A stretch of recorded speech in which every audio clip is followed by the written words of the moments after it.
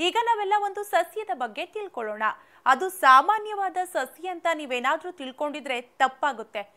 ಬನ್ನಿ ಹಾಗಿದ್ರೆ ಯಾವ ಸಸ್ಯ ಅಂತ ನೋಡ್ಕೊಂಡ್ ಬರೋಣ. ಹೇ ನಿನ್ನೆ ನಮ್ಮ ಅಜ್ಜಿ ಊರಿಗೆ ಹೋಗಿದ್ನಲ್ಲ ಆಗ ನನ್ನ ಮಾವ ಹೊಲದಲ್ಲಿ ಕೆಲಸ ಮಾಡುವಾಗ ಒಂದು ಚೇಳ್ ಕಚ್ಬಿಡ್ತು ಅಂತ ಬಂದ. ಆಗ ನಮ್ಮ ಅಜ್ಜಿ ಯಾವುದೋ ಒಂದು ಬೇರಿನಿಂದ ಔಷಧಿ ಮಾಡಿದ್ಲು. ಎಷ್ಟು ಬೇಗ ಉರಿ ಕಡಿಮೆ ಆಯ್ತು ಗೊತ್ತಾ? ವಾವ್ ಹಿಂಗಾ? ಹಳೆ ಕಾಲದವರಿಗೆ ನಾಟಿ ಔಷಧಿ ಬಗ್ಗೆ ತುಂಬಾ ಚೆನ್ನಾಗಿ ಗೊತ್ತಿರುತ್ತೆ. ಮೋಸ್ಟ್ಲಿ ಅವರು ಸರ್ಪಗಂಧ ಬೇರನ್ನ ಬಳಸ್ಕೊಂಡು ಔಷಧಿ ಮಾಡಿದ್ರೇನೋ. ಯಾವ್ದೋ ಅದು ಸರ್ಪಗಂಧ? ಸರ್ಪ ಅಂದ್ರೆ ಬುಸ್ ಬುಸ್ ನಾಗಣ್ಣ ತಾನೆ? ಹ್ಞೂ ಕಣೆ ನಾಗಪ್ಪನೇ.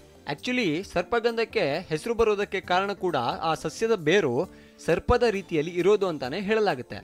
ಹಾಗೆ ತುಂಬಾ ಹಿಂದಿನಿಂದಲೂ ಹಾವು ಕಡಿತಕ್ಕೆ ಮತ್ತೆ ಇನ್ನಿತರ ವಿಷಕಾರಿ ಜಂತುಗಳು ಕಚ್ಚಿದ್ರೆ ಸರ್ಪಗಂಧದಿಂದ ಮದ್ದನ ಮಾಡ್ತಿದ್ರು. ಹಿಂಗಾಗಿ ಸರ್ಪಗಂಧ ಅಂತ ಹೆಸರು ಬಂದಿರೋದು. ಓಹೋ ಬೇರ್ ನೋಡಿದ್ರೆ ಗೊತ್ತಾಗಲ್ಲ. ಬೇರೆ ಏನಾದ್ರೂ ಹೇಳೋ ಗಿಡದ ಬಗ್ಗೆ ಅರ್ಥ ಆಗೋ ತರ. ಇದು ತುಂಬಾ ಎತ್ತರಕ್ಕೆ ಬೆಳೆಯೋ ಸಸ್ಯವಲ್ಲ. ಉದ್ದವಾದ ಎಲೆಗಳನ್ನ ಸರ್ಪಗಂಧ ಹೊಂದಿರುತ್ತೆ. ಅವುಗಳ ಮೊಗ್ಗು ಕೆಂಪು ಬಣ್ಣದಲ್ಲಿರುತ್ತೆ. ಆದ್ರೆ ಹೂಗಳು ಬೆಳ್ಳನೆಯ ಬಣ್ಣಕ್ಕೆ ತಿರುಗ್ತವೆ. ಅದ್ರ ಜೊತೆ ಹಸಿರು ಬಣ್ಣದ ಪುಟಾಣಿ ಕಾಯಿಗಳು ಕೂಡ ಇರುತ್ತೆ ಗೊತ್ತಾ? ಓಹೋ ಈಗ ಗೊತ್ತಾಯ್ತು ನೋಡು. ಹೌದು ಸರ್ಪಗಂಧದ ಮೂಲವೆಲ್ಲಿ? ಈ ಬಗ್ಗೆ ಸಾಕಷ್ಟು ಚರ್ಚೆಗಳು ಆಗಿದ್ರೂ ಕೂಡ ಒಂದು ನಿರ್ಧಾರಕ್ಕೆ ಬರೋಕೆ ಆಗಿಲ್ಲ. ಆದ್ರೆ ತುಂಬ ಮಂದಿ ಹೇಳೋ ಪ್ರಕಾರ ಭಾರತವೇ ಸರ್ಪಗಂಧ ಸಸ್ಯಗಳ ಮೂಲ ಅಂತ. ಇದಕ್ಕೆ ಪೂರಕ ಅನ್ನೋ ಹಾಗೆ ಇಂಗ್ಲಿಷ್ನಲ್ಲಿ ಕೂಡ ಸರ್ಪಂಟ್ ವುಡ್ ಅಂತ ಕರೀತಾರೆ. ವಾವ್ ಅಮೇಝಿಂಗ್ ಕಣೋ. ಅಷ್ಟೇ ಅಲ್ಲ ಕಣೆ ಸುಮಾರು ಮೂರು ಸಾವಿರ ವರ್ಷಗಳಿಂದಲೂ ಸರ್ಪಗಂಧವನ್ನ ಔಷಧಿಯಾಗಿ ಬಳಸ್ಕೊಂಡು ಬರ್ತಾ ಇರೋದ್ರ ಬಗ್ಗೆ ಚರಕ ಸಮಿತಿಯಲ್ಲಿ ಉಲ್ಲೇಖವಿದೆ. ಹೀಗಾಗಿ ಇದು ಭಾರತದ ಮೂಲದ ಸಸ್ಯ ಅನ್ನೋದಕ್ಕೆ ಇನ್ನಷ್ಟು ಪುಷ್ಟಿ ಸಿಕ್ಕಿದೆ ನೋಡು. ಸೂಪರ್ ಬಿಡು. ಹೌದು ಇದಕ್ಕೆ ಬೇರೆ ಏನೇನು ಹೆಸರಿದೆ? ಕೇಳು. ಸಂಸ್ಕೃತದಲ್ಲಿ ಸರ್ಪಗಂಧ ಚಂದ್ರಿಕಾ ಗಂಧನಾಕುಲಿ ಅಂತ ಕರೆದ್ರೆ ಮಲಯಾಳಂಲಿ ಚುವನಾ ವಿಲ್ಪುರಿ ಅಂತಾರೆ. ಹಾಗೆ ಹಿಂದಿಯಲ್ಲಿ ನಾಗಿನ್ ಕಿ ಲಕ್ಡಿ ಅಂತಾರೆ. ಒಂದೊಂದು ಭಾಷೆಯಲ್ಲಿ ಒಂದೊಂದು ಥರ.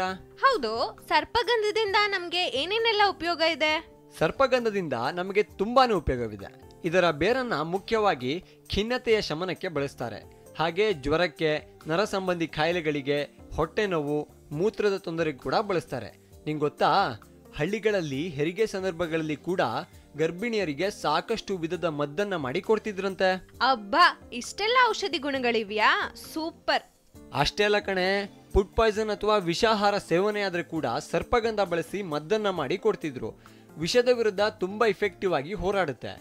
ಜೊತೆಗೆ ರಕ್ತದೊತ್ತಡ ಕೋಪವನ್ನು ಕೂಡ ತಡೆಯುವ ಶಕ್ತಿ ಸರ್ಪಗಂಧಕ್ಕೆ ಇದೆ ಅನ್ನೋದು ಸಸ್ಯ ವಿಜ್ಞಾನಿಗಳ ಮಾತು.